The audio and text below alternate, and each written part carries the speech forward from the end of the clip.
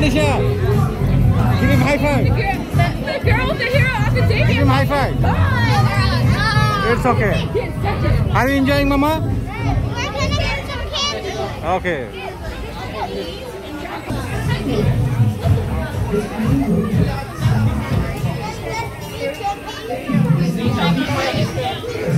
Tanisha, say bye to Chuck E. Cheese. すみ